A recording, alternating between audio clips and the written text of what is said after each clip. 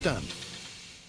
So, like Adam and Jamie's myth, our next myth is also about flying, but it's flying with a twist. See a top rank with his wingman. Oh, okay, I know what you're talking about. I've seen this video. It's where they're playing tennis on the wing of a plane while it's in flight. Right, and they're both strapped to the wings. The plane takes off, and then they start volleying the ball back and forth. Okay, so what this myth really boils down to is can you actually have a tennis rally on the wing of a plane in flight with winds rushing past you at 35 miles an hour? Wait, why only 35 miles an hour? Low as 35. Wow. You guys played tennis before, right? No. Uh-uh. Hmm. Looks like this one just got a little harder. Tennis lessons? So before takeoff, first things first, they've got to get the team match ready.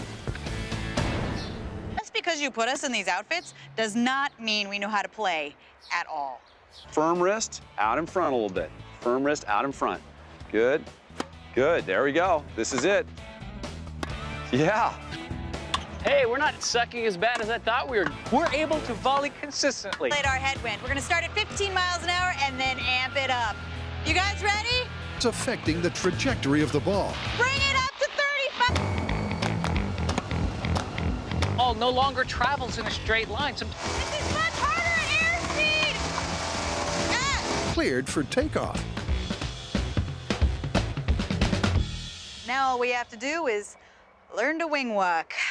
That should be a piece of cake. All right, bad news. Well, good news for me because I'm scared of height in a plane. Seriously, how are we gonna test this myth? Okay, I got a substitute.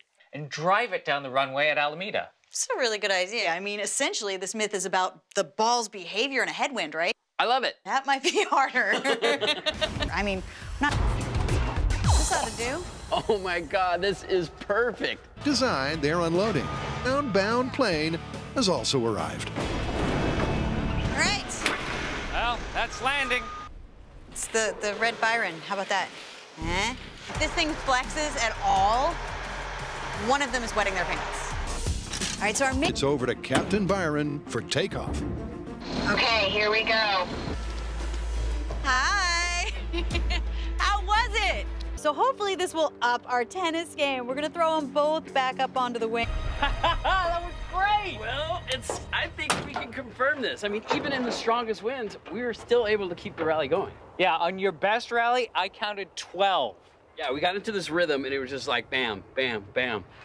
I think it's confirmed. I think it's confirmed. Well, there's one more thing I want to do. Now that you proved you can do it at this distance, I think we need to extend you out further onto the wing and look a little more like the video. That sounds terrifying, but I think we should go for it. Yeah.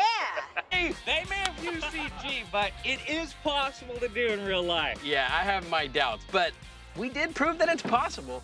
Wow, how often does that happen? The internet was true. Internet video, and we can replicate it in reality.